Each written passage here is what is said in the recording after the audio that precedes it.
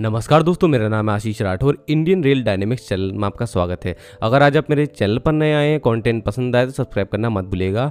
दोस्तों, हमारे देश में बीते दिनों काफ़ी रेल दुर्घटनाएँ हुई। ऐसे में ट्रैक की जो सुरक्षा है, उसको बढ़ाने के लिए काफ़ी मांग हो ही रही थी। ऐसे में हम लोग जानते हैं कि देश में कवच नाम की एक अपनी इंडिजिनियसली मेड टेक्नोलॉजी हमारे पास मौजूद है, जिसको TCAS train collision avoidance system कहा जाता है। यह मौजूद है और इसको बिछाने का काम चल रहा है, लेकिन काफ़ी धीमा है। अभी बजट में काफ़ी बातें की गई थी कि इस बार इस काम को और तेज किया जाएगा। तो अब उसके कुछ परिणाम दिखने लगे हैं। तो बड़े टेंडर्स अगस्त में निकाले गए हैं। ये इस कवच के जो बड़े टेंडर्स निकाले गए हैं, लगभग पाँच हज़ार से लेकर के सात हज़ार रूट किलोमीटर तक के टेंडर हैं। तो इसका मनी कंट्रोल के हिसाब से जो कॉस्टिंग बैठती है, लगभग सत्ताईस करोड़ है।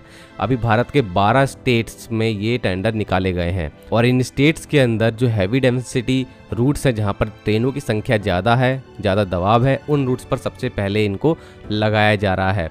और लगभग 50 लाख पर किलोमीटर की कॉस्ट के हिसाब से ये लगाए जाएँगे। और कवच के अंदर जो भी हमारे मेन कंपोनेंट्स होते हैं, चाहे वो आर एफ़ हो ट्रैक साइड इक्विपमेंट टावर हो गया डेटा सेंटर हो गया, उन सभी का मैंने एक्सप्लेनेशन अच्छे से आप लोगों को इस वीडियो में दे रखा है। आप इसको ज़रूर से देखना, इसका लिंक भी आप लोगों को मिल जाएगा कॉमेंट सेक्शन में। तो अभी जो स्टेट्स हैं, वो इस प्रकार हैं। तो लगभग 12 स्टेट्स हैं, जिसमें तेलंगाना, महाराष्ट्र, कर्नाटका, आंध्र प्रदेश, उत्तर प्रदेश केरला, तमिलनाडु, पंजाब, राजस्थान, मध्य प्रदेश, गुजरात और झारखंड मौजूद हैं। लगभग 18 टेंडर्स निकाले गए हैं और इन टेंडर्स के साथ में ही दो टेंडर अलग से और निकाले गए हैं कवच रिलेटेड इंफ्रास्ट्रक्चर को तैयार करने के लिए उत्तर प्रदेश, तेलंगाना, महाराष्ट्र, कर्नाटका और आंध्र प्रदेश। अगस्त में जो टेंडर खोले गए हैं, लगभग अक्टूबर तक ये कंप्लीट कर लिए जाएँगे।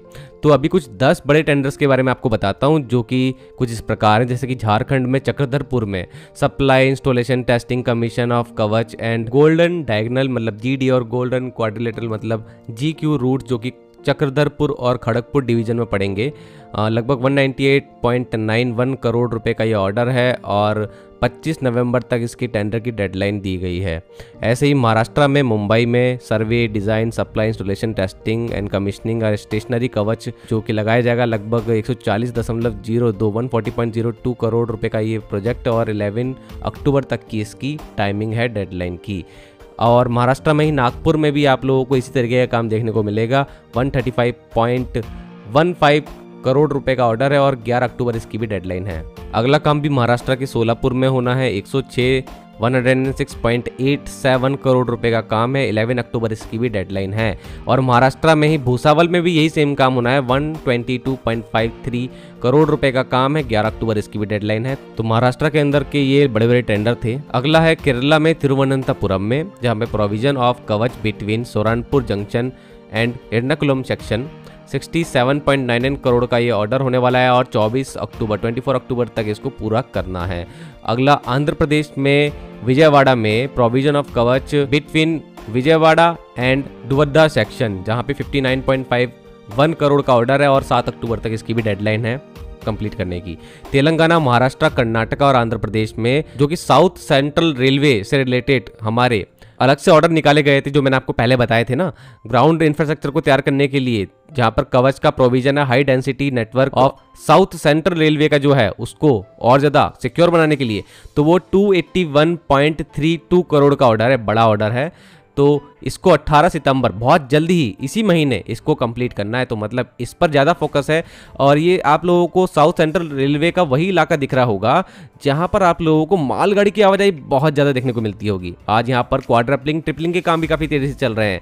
लेकिन इन जगहों पर आज भी एक्सीडेंट की संख्या ज़्यादा है मालगाड़ियों के साथ में। तो इसलिए यहाँ पर ज़्यादा फोकस किया जा रहा है और इसको फास्ट ट्रैक में कंप्लीट भी कराया जाएगा। अगला एक टेंडर बहुत बड़ा है उत्तर प्रदेश के लोगों के लिए। दोस्तों, एक बहुत बड़ा सर्वे यहाँ पर अभी करना है और लखनऊ डिवीज़न के अकॉर्डिंग यहाँ पर बताया जा रहा है कि radio signal strength indicator R S S I reconnaissance survey of 2093 kilometre in connection with Kavach over Eastern railway तो काफ़ी बड़ा हिस्सा इसमें आएगा 6.16 करोड़ रुपए का यहाँ पर जो ऑर्डर है वो है और 10 सितंबर तक इसको कंप्लीट करना है। मतलब अभी बहुत जल्दी इसको कंप्लीट कर लिया जाएगा।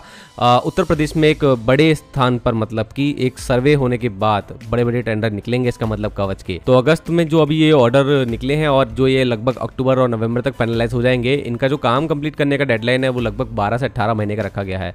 तो हम लोग इसमें एक चीज़ और देख रहे हैं कि इसमें छोटे बड़े टेंडर और भी निकाले गए हैं। टोटल मिलाकर के जो सात हज़ार से पाँच हज़ार रूट किलोमीटर पर अभी फ़िलहाल काम होना है। तीन हज़ार रूट किलोमीटर पर काम हो चुका है। और दोस्तों, कवच 4.0 के जो ये टेंडर निकले हैं हाल ही में, अगस्त में, और आगे हम लोग इनको पूरा होते हुए देखेंगे नवंबर, अक्टूबर तक। उसके बाद इसका फ़ेज़ टू स्टार्ट होगा, अक्टूबर एंड में या फिर इस साल के एंड या फिर नए साल की शुरुआत में। तो वहाँ पर फ़ेज़ टू में और ऑर्डर निकाले जाएँगे उसमें लगभग 2000 रूट किलोमीटर और कवर किया जाएगा। तो हम मान के ये चल सकते हैं कि लगभग 10,000 रूट किलोमीटर जो है वो कंप्लीट हो सकता है आने वाले दो से तीन सालों के अंदर। और ये मेन मेन हिस्सों को ज़रूर कवर कर लेंगे पहले ही।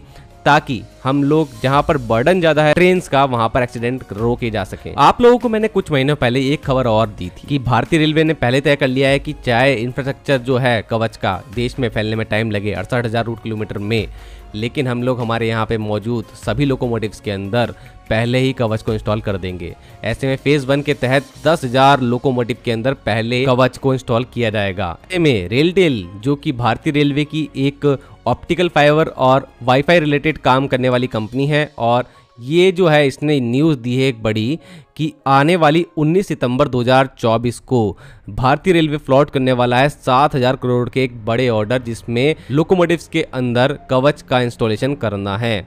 तो दस हज़ार लोकोमोटिव में कवच लगाने के ऊपर हमारा जो ये पहला कदम है, वो देखने को मिल रहा है। भारतीय रेलवे फास्ट ट्रैक पर काम कर रही है और सेफ्टी को रिलेटेड जो ये काम है, इस पर बहुत ज़्यादा फोकस आ गया है भारतीय रेलवे का। और अब नवरत्ना कंपनी बन चुकी है रेल टेल तो रेल टेल को बहुत विश्वास है कि नवरत्ना स्टेटस जो उनको केंद्र सरकार ने दे दिया है। अब इसी स्टेटस की वजह से उनको थोड़ा प्रेफरेंस दिया जा सकता है जब वो पार्टिसिपेट करेंगे इस बड़े ऑर्डर में। और इसके लिए वो और भी पार्टनरशिप करेंगे दूसरी कंपनीज़ के साथ में भी। तो उन्होंने भी पूरी कमर कस ली है इस ऑर्डर में पार्टिसिपेशन करने के लिए। तो कुछ इस तरीके से हमारे देश में इस कवर्स के इंस्टॉलेशन के लिए अब कुछ काम हो रहा है। और सरकार ने जो बातें की थी वो बिल्कुल हवा में नहीं गई थी। अब उन्होंने फास्ट ट्रैक पर बहुत जल्दी ही नई सरकार बनने के बाद टेंडर का निकालना शुरू कर दिया है। और इनको फुलफिल जल्दी ही कराया जाएगा। तो भारतीय रेलवे के रोलिंग स्टॉक और कवच जैसी टेक्नोलॉजी के ऊपर हो रहे सभी कामों को जानते रहने के लिए आप लोग इस चैनल को सब्सक्राइब ज़रूर कर लीजिएगा। आज के लिए इतना ही। वंदे मातरम, भारत माता की जय।